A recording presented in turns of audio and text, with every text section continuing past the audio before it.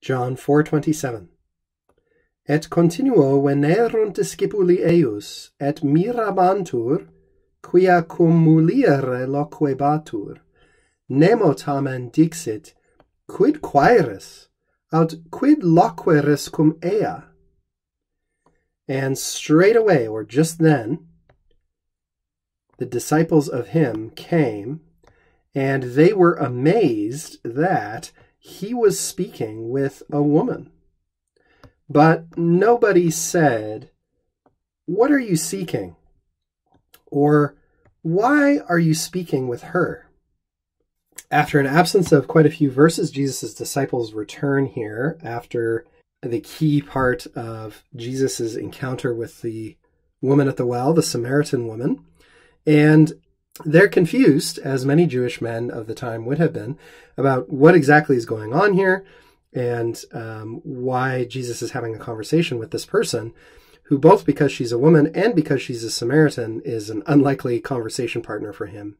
As far as the Latin is concerned, the main thing I would draw your attention to is these deponent verbs. What does deponent mean when we're talking about Latin verbs? Deponent means vox activa forma passiva. At least that's how I teach it to my students. Active voice, but passive form. That is to say, deponent verbs are verbs that have put off their active forms. That's what deponent means from depono, deponere, to put off or kind of put aside. And instead, they appear exclusively, in most cases, in the passive form, but the meaning, the sense, the actual voice is active.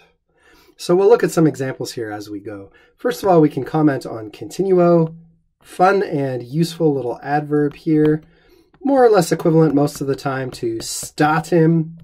You've heard statim if you've heard doctors on a TV show say stat, give me the scalpel, stat. That's actually an abbreviation of statim at once. And continuo means the same thing, right at that moment, immediately following upon something that had just happened. And you can see that development from the adjective continuous, right? Continuous in an unbroken sequence. When something happens continuo, it happens in an unbroken sequence with what happened just before it. It immediately happens, in other words, after the previous thing. When Venerunt, third person plural, perfect active indicative from venio, venire, to come. And his disciples got there. They came, disciples of him, that is of Jesus.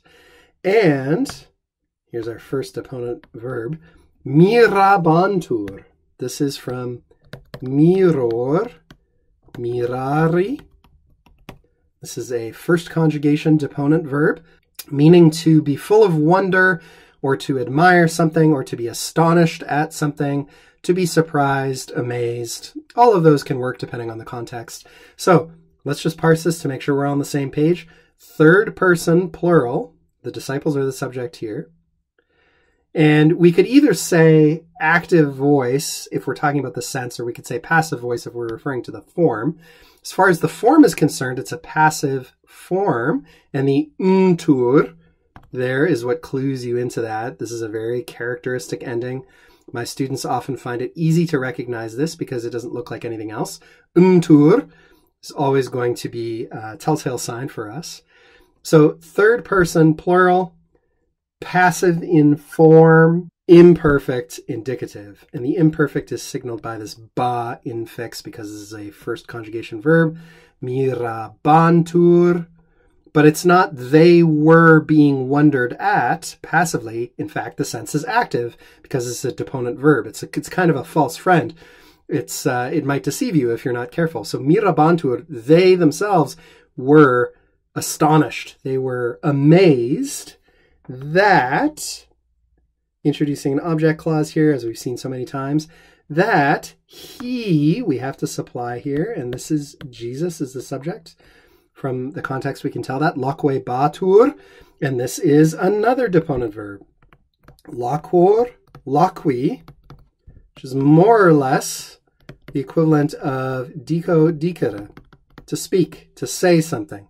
Cum muliere loquebatur. They're amazed that Jesus was speaking. Notice that ba again, that's our imperfect tense. Jesus was speaking with the woman or with a woman. And here this is ablative following cum as we're used to seeing it.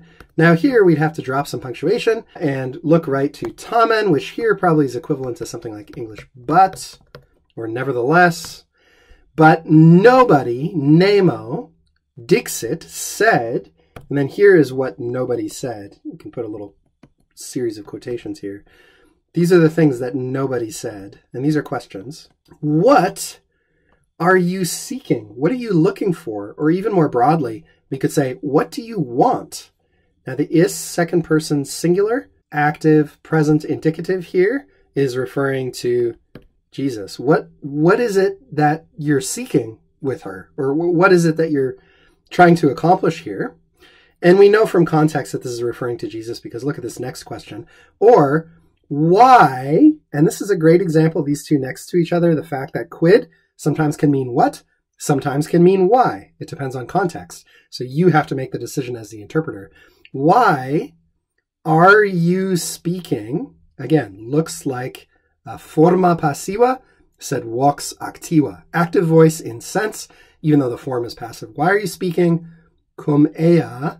Here again, ablative with cum, just as we had up here. Why are you speaking with her?